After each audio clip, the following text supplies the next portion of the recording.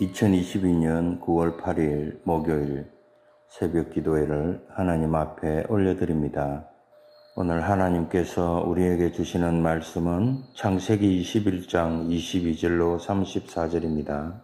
제가 봉독해 올리겠습니다. 그때에 아비멜렉과 그 군대 장관 비골이 아브라함에게 말하여 이르되 내가 무슨 일을 하든지 하나님이 너와 함께 계시도다. 그런즉 너는 나와 내 아들과 내 손자에게 거짓되이 행하지 아니하기를 이제 여기서 하나님을 가리켜 내게 맹세하라. 내가 내게 후대한 대로 너도 나와 내가 머무는 이 땅에 행할 것이니라. 아브라함이 이르되 내가 맹세하리라 하고 아비멜렉의 종들이 아브라함의 우물을 빼앗은 일에 관하여 아브라함이 아비멜렉을 책망하매 아비멜렉이 이르되 누가 그리하였는지 내가 알지 못하노라. 너도 내게 알리지 아니하였고 나도 듣지 못하였더니 오늘에야 들었노라. 아브라함이 양과 소를 가져다가 아비멜렉에게 주고 두 사람이 서로 언약을 세우니라. 아브라함이 일곱 암양 새끼를 따로 놓으니 아비멜렉이 아브라함에게 이르되 이 일곱 암양 새끼를 따로 놓으면 어찜이냐. 아브라함이 이르되 너는 내 손에서 이 암양 새끼 일곱을 받아 내가 이 우물 판정거를 삼으라 하고 두 사람이 거기서 서로 맹세하였으므로 그곳을 부엘세바라 이름하였더라. 그들이 부엘세바에서 언약을 세움에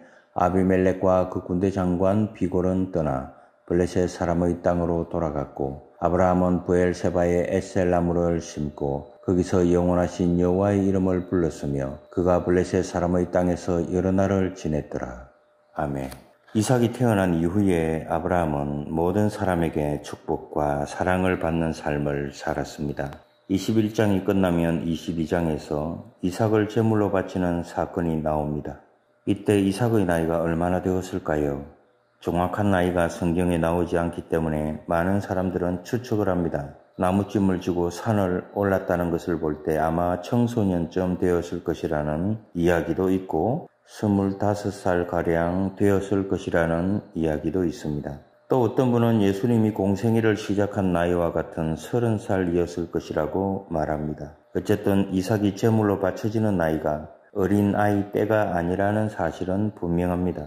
아버지와 함께 나무찜을 지고 산에 오를 정도의 성인이었습니다. 그때가 되기까지 성경은 다른 기록을 남기지 않았습니다. 그러나 우리는 오늘 말씀에서 아브라함이 그 주변의 많은 사람들로부터 존경과 사랑을 받았다는 사실을 볼 수 있습니다.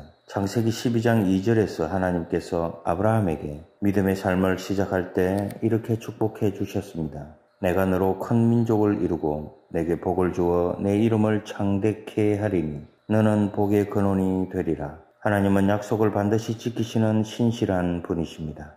정말로 아브라함은 모든 믿는 자의 믿음의 조상이 되었을 뿐만 아니라 그 자신도 많은 복을 받았습니다. 예수 그리스도를 믿는 여러분들도 이러한 복을 받아 복의 근원이 되시기를 축원합니다.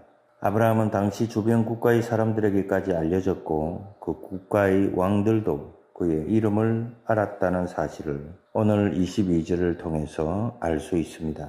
22절을 보십시오. 그때 아비멜렉과 그 군대 장관 비골이 아브라함에게 말하여 이르되 내가 무슨 일을 하든지 하나님이 너와 함께 계시도다.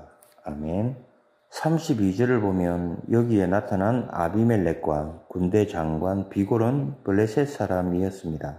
이들은 아브라함보다 권력이 있는 사람이었죠. 아비멜렉은 아브라함보다 훨씬 대단한 사람이었습니다. 우리 상식으로는 작은 사람이 큰 사람을 찾아가는 것이 당연한 사실이죠. 그러나 오늘 본문의 아비멜렉은 큰 사람으로서 작은 사람 아브라함에게 찾아옵니다. 그것도 군대 장관까지 대동하고 찾아와 조약을 맺자고 이야기하는 것을 볼 수 있습니다. 과연 무엇 때문에 자기 땅에 찾아온 한 이민자에게 찾아가서 조약을 맺자 이렇게 제안을 했을까요? 그것은 아비멜렉의 말에서 알 수 있듯이 아브라함이 무엇을 하든지 하나님이 함께 하신다는 단 하나의 이유 때문이었습니다. 아브라함의 인격이 훌륭하거나 권력이 있다거나 군사력이 있어서가 아니었습니다. 아비멜렉이 볼 때 아브라함이 하는 일마다 항상 하나님이 개입한다는 그 사실 하나 때문에 이렇게 아브라함에게 찾아온 것입니다. 창세기 20장에서 아브라함과 사라가 남방으로 이동하다가 아비멜렉을 만난 적이 있습니다. 그때 아브라함은 자기 부인을 누이라고 속이는 비급한 잘못을 저질렀습니다. 그때 아비멜렉은 사라가 정말로 아브라함의 누이인 줄 알고 자기 부인으로 삼았습니다. 그러자 하나님이 아비멜렉의 꿈에 나타나 그 여자를 범하지 말라. 그 여자를 돌려보내라. 그 여자를 범하는 날에는 내가 너를 죽일 것이다. 라고 말씀하셨습니다. 아비멜렉은 깜짝 놀랐고 그 다음 날로 그 부인을 돌려보내면서 아브라함에게 내가 어찌 나를 속여서 나를 범죄하게 했느냐라고 따져 물었습니다. 아브라함은 자신의 거짓말 때문에 이런 수모를 겪기도 했지만 한편으로 아비멜렉의 입장에서 본다면 얼마나 놀랬겠습니까? 꿈에 천사가 나타나 그 여자를 건드리지 말라는 계시를 받고 그는 아마도 아브라함이라는 사람이 보통 사람은 아니구나 라는 생각을 했을 것입니다.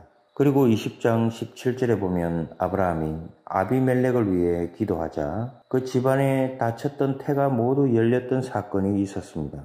이 모든 일을 지켜본 아비멜렉은 크게 놀라며 이런 생각을 했을 것입니다. 과연 이 사람 아브라함이 누구며 뭐 하는 사람이길래 이 사람이 기도하면 태가 열릴까? 그를 잘못 건드렸다가는 큰일 나겠구나. 이렇게 해서 아비멜렉은 22절에서 이렇게 고백합니다. 당신이 무슨 일을 하든지 하나님이 당신과 함께 하는구나. 이것이 바로 하나님을 믿는 사람의 특징입니다. 하나님의 사람은 똑똑하고 유능한 사람을 의미하는 것이 아닙니다. 하나님의 사람의 특징은 그가 무슨 일을 하든지 어디를 가든지 하나님이 항상 함께 한다는 것입니다. 그리고 그것을 모든 사람, 특히 불신자들이 볼 수 있다는 것이죠. 이 교회는 정말 하나님이 함께 하시는구나 라는 말을 듣는 교회가 진짜 교회입니다. 여러분의 삶에 하나님이 함께 하신다는 표적이 나타나기를 바랍니다. 그리고 여러분의 가족과 친족과 주변의 많은 사람이 그것을 목도할 수 있기를 축원합니다. 이삭도 하나님과 함께 한 사람이었습니다. 이삭은 우물을 파는데 명수였습니다. 고대에 우물을 판다는 것은 쉬운 일이 아니었습니다. 우물을 판다고 해서 물이 나온다는 보장도 할 수 없는 상황이었기 때문에 그것은 모험이자 큰 투자였습니다. 그러나 이삭은 우물을 파는 대로 물이 나왔습니다. 하지만 주변 사람들이 이삭의 우물을 빼앗아 갔습니다. 이삭은 그들과 싸우지 않고 다른 곳에 가서 다시 우물을 팠습니다. 그런데 거기서 또다시 물이 나왔습니다. 그러나 주변 사람들이 또다시 그 물을 뺏고 또다시 다른 우물을 파고 거기서도 어김없이 물이 나옵니다. 그러자 사람들이 겁을 먹기 시작합니다. 이 사람 잘못 건드렸다가는 큰일 당하겠구나 라는 생각이 들었습니다. 여러분에게도 이런 축복이 있기를 바랍니다. 출애굽을 보십시오. 사실 모세라는 사람이 별 볼 일 있는 사람이었습니까? 그러나 하나님께서 모세와 함께 하심으로 말미암아 열 가지 재앙의 큰 기적을 행했습니다. 그리고 홍해를 가르고 하늘에서는 만나가 비처럼 쏟아지고 바위에서는 물이 솟아났습니다. 사람들은 그런 모세를 보고 두려워하기 시작했습니다. 모세는 바로에게 갈 때 사람을 끌고 가지 않았습니다. 백성들을 이용한 여론 정치를 하지 않았습니다. 그는 담대하게 하나님의 이름으로 나아갔습니다. 하나님의 사람은 다른 사람의 세력을 끌어들이지 않습니다. 하나님의 사람은 여론을 이용하지 않습니다. 하나님의 사람은 하나님을 의지할 뿐입니다. 모세만이 아니라 요소와에게도 하나님이 함께 하셨습니다. 요소와가 가나안 땅을 점령할 때 여리고 성이 무너져 버렸습니다. 그가 가는 곳마다 승승장구했습니다. 이것은 그의 전략이 뛰어났다는 것이 아니라 하나님이 그와 함께 하셨다는 것을 의미했습니다. 하나님이 함께 하시면 세상 사람들이 존경하며 그를 찾아온다는 사실을 오늘 본문을 통해 발견할 수 있습니다. 구약의 예언자들은 별 볼 일 없는 사람들이었고 외롭고 고독한 사람들이었고 쫓겨다니는 사람들이었습니다. 그러나 구약의 예언자들을 제일 두려워했던 사람들은 당대의 유력한 왕들이었습니다. 아합 왕은 엘리야를 두려워했습니다. 하나님의 사람이었기 때문에 하나님이 그와 함께 하시기 때문에 두려워했던 것입니다. 다니엘은 예언자 가운데 가장 인상 깊은 사람 중 한 사람입니다. 그는 이방 국가로 포로가 되어 잡혀갔습니다. 그러나 그는 하나님을 신뢰하는 사람이었기에 그 나라의 왕이 그를 택하여 자기 곁에 두는 복을 누렸습니다. 너부갓네살 왕뿐만 아니라 다리오 왕까지 2대에 걸쳐 국가의 서열 3위의 자리에 오르게 됩니다. 요셉은 이방 국가에 팔려갔던 사람이었고 감옥살이까지 했던 사람이었습니다.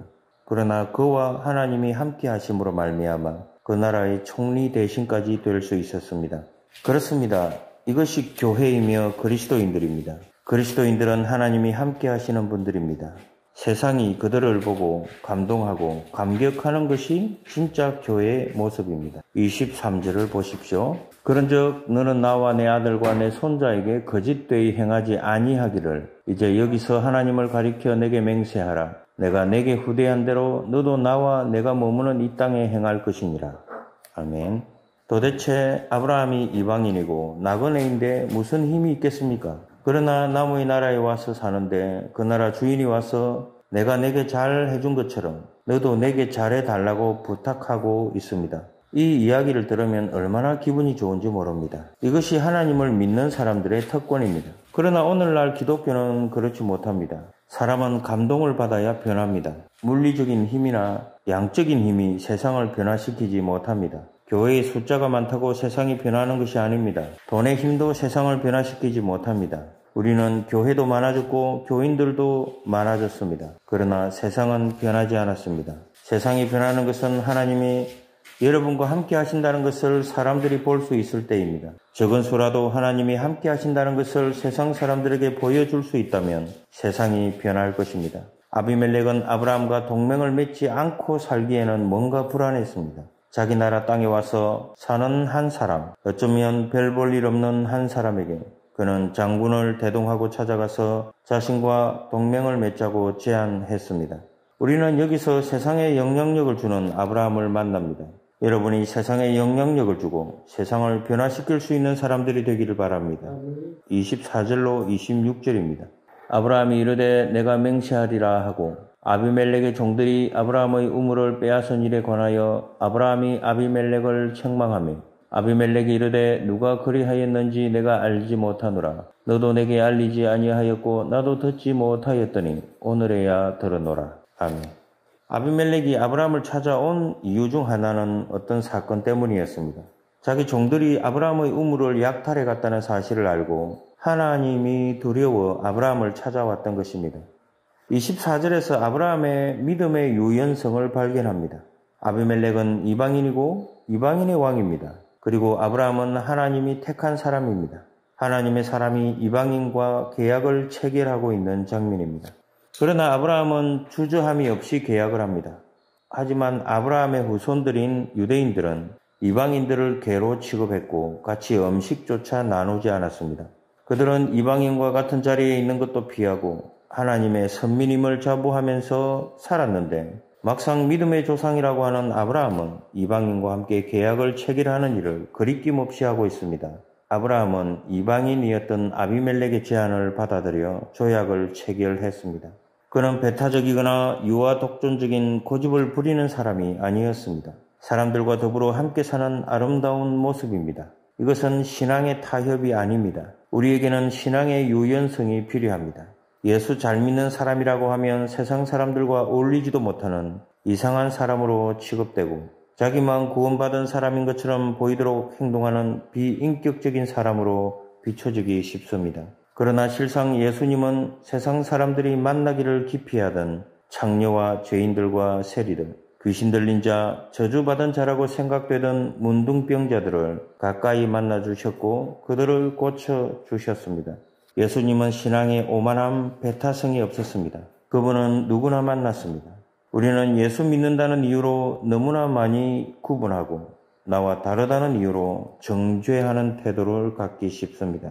그리고 예수 믿는다는 이유로 너무나 비인격적일 때도 많습니다. 이것이 세상 사람들로 하여금 예수 믿지 않게 하는 방해 요인이 되곤 합니다. 아브라함도 이방인을 배척하지 않고 받아들임으로 말미암아 그 땅에서 하나님의 나라를 이루어내는 모습을 볼 수 있습니다. 베드로는 환상 중에 보자기를 보았습니다. 거기에는 불길한 짐승이 있었는데 하나님께서 먹으라고 명하셨습니다. 그러나 베드로는 하나님이 명령하셨는데도 담대하게 먹지 않겠다고 했습니다. 하나님께서 다시 먹으라고 하셨고 베드로는 먹지 않겠다고 하는 이런 일이 세 번이나 반복됩니다. 결국 마지막에는 하나님께서 내가 깨끗하다고 한 것을 왜 더럽게 여기느냐라고 말씀하셨습니다. 우리는 종교의 이름으로 인간적인 생각으로 하나님을 제한할 때가 많습니다. 그러나 하나님은 대한민국의 하나님이시기도 하지만 하나님은 전 우주와 온 세계의 하나님이십니다. 우리는 하나님의 마음을 가질 필요가 있습니다. 성교를 하다 보면 이런 말을 하는 사람들이 있습니다. 우리나라에도 가난한 사람, 불쌍한 사람들이 많고 할 일도 많은데 꼭 외국 나가서 성교를 해야 합니까? 좀 사치스러운 일이 아닙니까? 물론 이 말은 설득력이 있고 일리 있는 말입니다. 그러나 우리나라에 왔던 선교사들을 생각해 보세요. 그들은 그들의 사회에서 최고의 지성인들이었습니다. 할 일이 얼마나 많았겠습니까? 만약에 그들이 그와 같은 생각을 했다면 이 한국 땅에 오지 않을 것이며 그들이 세웠던 병원도 학교도 세워지지 않았을 것입니다. 그들이 하나님의 비전과 예수님의 마음을 품고 이 땅에 왔기 때문에 우리 한국이 불과 100년 만에 이런 기적과 같은 발전을 일으킬 수 있었던 것 아닙니까? 여러분의 생각을 넓히시기를 축원합니다. 하나님의 마음을 갖기를 바랍니다. 아브라함은 25절에서 아비멜렉의 종들이 자신의 우물을 넉탈한 사실을 이야기하고 있습니다. 아비멜렉이 죄악을 맺자고 제안하자 이 이야기를 툭 던진 것입니다. 분위기가 얼마나 어색해졌겠습니까? 당황한 아비멜렉은 자기는 모르는 일이라고 오리발을 내밉니다. 27절을 보세요. 아브라함이 양과 소를 가져다가 아비멜렉에게 주고 두 사람이 서로 언약을 세우니라. 아멘. 아브라함은 우물 사건도 있었고 더구나 아비멜렉이 직접 찾아왔던 상황이기에 그 빼앗겼던 우물을 다시 돌려달라고 할 수도 있는 입장이었습니다. 그러나 그는 그 우물 이야기를 하고 나서 오히려 양과 소를 취하여 베푸는 모습을 봅니다. 우리는 대개 물리적인 힘에 의해서 계약을 합니다. 그러나 그렇게 억지로 계약한 사람들은 언젠가 계약을 깨고 복수합니다. 할 수 없이 하는 계약은 반드시 깨집니다. 계약을 할 때는 부드럽게 해야 오래 갑니다. 아브라함은 아비멜렉과 계약을 맺으면서 그가 우물을 빼앗겼지만 그것을 문제 삼지 않고 오히려 아비멜렉에게 양과 소를 주었습니다. 작은 것을 내어주고 큰 것을 얻었던 것입니다. 아브라함에게는 이런 뛰어난 처세술이 있었습니다. 이와 같이 현재를 생각하기보다 미래를 생각하는 사람이 지도자입니다. 28절로 31절입니다. 아브라함이 일곱 암양 새끼를 따로 놓으니 아비멜렉이 아브라함에게 이르되 이 일곱 암양 새끼를 따로 놓으면 어찜이냐 아브라함이 이르되 너는 내 손에서 이 암양 새끼 일곱을 받아 내가 이 우물 판 증거를 삼으라 하고 두 사람이 거기서 서로 맹세하였으므로 그곳을 브엘세바라 이름하였더라. 아멘. 아브라함이 아비멜렉에게 양과 소를 주면서 암양 새끼 일곱을 따로 구분했습니다. 아비멜렉이 그 이유를 물었습니다. 아브라함은 이 우물을 내게 팔아라. 이것들로 이 우물을 내게 판 증거로 삼으라. 라고 자신의 의도를 밝힙니다. 실은 그 우물은 원래 아브라함의 우물이었고 억울하게 빼앗겼던 우물입니다. 그러나 아브라함은 그냥 돌려달라고 이야기하지 않고 그 우물을 팔라고 부탁을 합니다. 암양 새끼 일곱 마리는 일종의 영수증이었습니다. 지금은 아비멜렉이 줄 수 있는 상황입니다. 그러나 물건이란 항상 힘 있는 사람의 소유가 되는 법입니다. 아비멜렉의 후손에 이르러서는 그 계약이 어떻게 될지 모릅니다. 그래서 아브라함은 이 우물은 내가 내게 판 것이라는 증거를 확실히 해두고자 했던 것입니다. 이런 아브라함의 지혜로운 행동에 아비멜렉은 아브라함이 하고자 하는 대로 계약을 맺습니다. 이 우물이 바로 부엘세바였습니다. 부엘세바는 맹세의 우물이었습니다. 그러나 아브라함은 이 일로 끝내지 않았습니다. 32절입니다. 그들이 부엘세바에서 언약을 세우매 아비멜렉과 그 군대 장관 비골은 떠나 블레셋 사람의 땅으로 돌아갔고 33절입니다. 아브라함은 부엘세바에 에셀 나무를 심고 거기서 영원하신 여호와의 이름을 불렀으며 34절입니다. 그가 블레셋 사람의 땅에서 여러 날을 지냈더라. 아멘. 아비멜렉은 아브라함과 언약을 맺고 블레셋 족속으로 돌아갔지만 아브라함은 그곳에 에셀 나무를 심었습니다. 이것은 이 언약의 증거이자 영수증이었습니다. 사람은 죽지만 나무는 계속 자랄 것입니다. 이 나무를 보는 자마다 양 일곱 마리를 주고 이 우물을 산 것을 떠올릴 것입니다. 아브라함은 기념 식소에 그치지 않고 한 걸음 더 나아가 영생하시는 하나님의 이름을 부릅니다. 이 우물은 영원히 자기의 것이라는 선언입니다. 우리가 무엇을 하든지 에셀 나무를 심어야 합니다. 무엇을 하든지 영원한 하나님이 여기 계신다고 선포해야 합니다. 장사를 하든지 정치를 하든지 마찬가지입니다. 무슨 장사를 하든 어디서 일을 하든 영원한 하나님이 함께 계신다는 사실을 기억하고 선포하시기 바랍니다. 우리는 아브라함이 이방인까지 받아들이는 신앙의 융통성을 보았습니다. 그러나 그는 결코 신앙을 타협하지 않았습니다. 예수님께서 우리에게 가서 모든 족속으로 제자를 삼아 아버지와 아들과 성령의 이름으로 세례를 주라고 말씀하셨습니다. 우리는 모든 족속, 모든 열방, 모든 나라로 복음을 들고 나가야 합니다. 대상을 제한하지 말고 민족을 제한하지 말고 가야 합니다. 그리고 그곳에 에셀 나무를 심어야 합니다. 여러분이 가는 곳마다 여호와는 영원하시다는 사실을 선포하는 우리가 되시기를 바랍니다.